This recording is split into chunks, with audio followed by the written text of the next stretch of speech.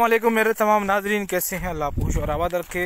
नाजरीन, हम आपको कुदरत का एक कर हो कि कितनी सूख पड़ी है, यानी कि इसमें भी आप बिल्कुल देख सकते हो कि बिल्कुल खुश्क हो पड़ा हुआ है।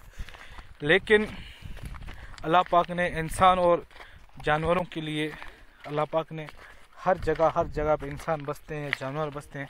अल्लाह पाक ने उनके लिए एक एक ख़ास कर, एक इंतज़ाम किया होता है पानी का अभी हम लोग इधर आए थे और हमें पानी नहीं मिला। तो हमने, खैर हमें आगे पानी मिला, लेकिन इस जगह पे पानी नहीं मिला। तो हमने एक अलग से ही कुछ नज़ारा देखा। वो नज़ारा हम आपको दिखाएँगे। ये अभी हम आपको इसलिए अभी पत्थर दिखा रहा हूँ कि कई लोग ये भी बोल सकते हैं कि यार ये नदी है, या इसमें ये देखो नदी बिल्कुल खुश्क हो पड़ा हुआ है। लेकिन अभी हम आपको इस नदी में कुछ खुदा का एक कशमा दिखाना दिखाना। देख लें वो खुदा का कशमा ये है। ये आप देख लें। ये खुदा का ये खुदा का करिश्मा है। ये ऊपर नदी हमने आपको चल के भी दिखाया था। ये ऊपर नदी बिल्कुल मेरे दोस्त खड़े हुए देख लो। खुश्क है बिल्कुल। ये देखो।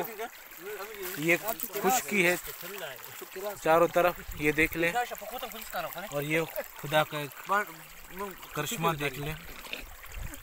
कि अल्लाह पाक ने ज़मीन के ज़रिए कितने तेज़ रफ्तार में अभी मेरे दोस्त हाँ नुल्ला भाई, पानी कैसा है? बहुत मीठा है ना? इस पानी के लिए हम लोग तरस रहे थे। देख ले। माशाल्लाह, ये पानी कितनी तेज़ रफ्तार में और इन चरवाओं ने यहाँ पर थोड़ा सा ब्रेक लगा के पानी के लिए, रुकने के लिए बंदोबस्त किया हुआ है। ये देखिए नाजरीन, बहुत ही इस वीडियो को लाइक करें, कमेंट करें, शेयर करें। ये देख लें, ये मैं आपको ऐसे दिखाता हूँ। देखिए ऊपर से खुश्क और नीचे पानी बह रहा है। यानी कि एक जगह पर चारों तरफ़ से देखिए।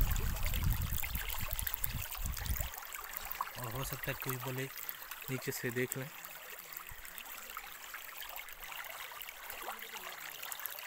हमारे वीडियो को कमेंट करें लाइक करें शेयर करें।